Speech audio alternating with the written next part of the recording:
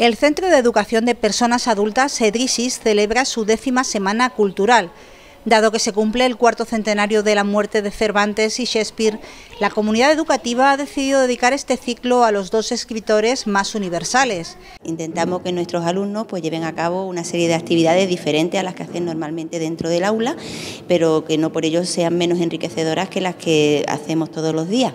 Entonces hemos mm, programado entre el equipo directivo y todo el claustro del centro, pues hemos programado una serie de actividades que consideramos que van a tocar un poquito todos los palos. Entonces hemos programado concursos que son muy variados, que han sido de repostería, que va a ser a lo largo de toda esta semana de repostería, de ortografía, poesía, eh, relatos breves, eh, concursos de, murales para conmemorar el Día del Libro, como veis es muy variado. Entonces ellos participan, aparte de que mejoran su expresión oral y escrita, pues también conseguimos que eh, ese gusanillo que no entra todo, ay, si ganamos un premio, no sé qué. Entonces ese sentido de la superación también actúa a favor de intervenciones.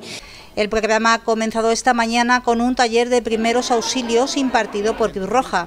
Bueno, hoy hemos estado dando nociones básicas sobre primeros auxilios, en plan cómo curar heridas, cómo actuar ante hemorragias, quemaduras y cosas así.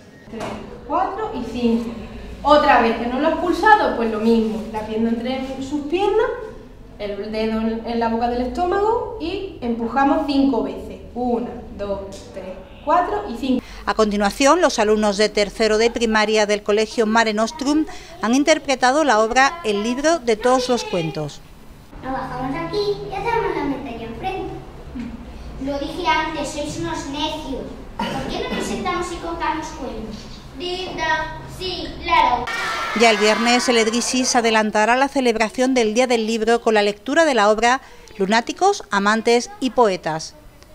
La oferta educativa del EDRISIS no es una continuación de la formación que se recibe en el instituto, ya que la dinámica del centro es totalmente diferente esa formación los va a enriquecer y entonces el día a día, pues la verdad es que se le hace muy ameno, hacen sus amistades, las señoras mayores que ya han dejado sus, digamos, sus obligaciones de criar a sus hijos, entonces vienen ahora y retoman lo que en su momento no pudieron llegar a terminar. Hacen amistades, cuando salen de clase se van a tomar su cafelito, es decir, que no solamente se forman, no solamente vienen, aunque al principio lo sean con esa idea de conseguir un título, sino que ya luego se dan cuenta de que la formación y la cultura es algo esencial para la vida.